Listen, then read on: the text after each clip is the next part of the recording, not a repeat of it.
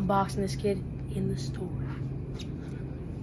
Alright, he's bigger than me, he's stronger than me, but I got the heart, and I think I'm a better boxer. Let's do this thing.